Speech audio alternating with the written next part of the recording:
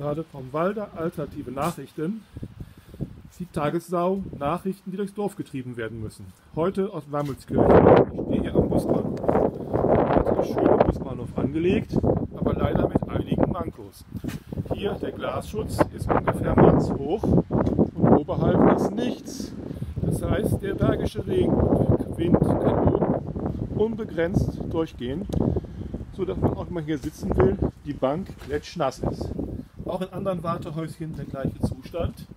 Das recht hohe Hallendach erlaubt auch bei schrägen Regen eigentlich keinen ausreichenden Regenschutz.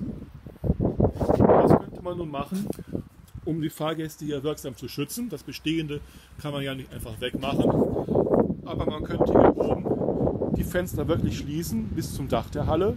Dann wird schon mal Schrägregen, der von der Seite kommt, abgehalten. Könnten sich Fahrgäste je nach Windlage schon mal hier einstellen und trocken bleiben.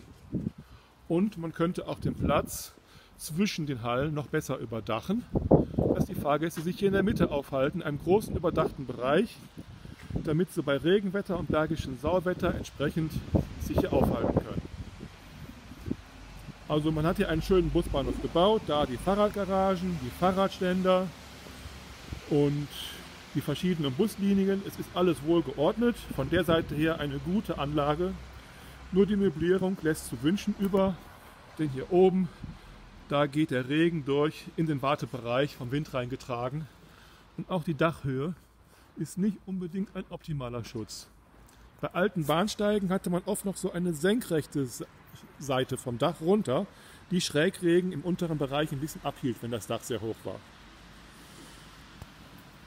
Auch hier, ich schaue mal auf die Bank. Die Bank ist wieder nass. Auf der anderen Seite also dieser Busbahnhof ist zwar gut gemeint, aber er hat noch sehr viele Macken. Und wenn man den öffentlichen Personennahverkehr attraktiv machen will, sollte man doch den Wetterschutz hier noch deutlich nachbessern.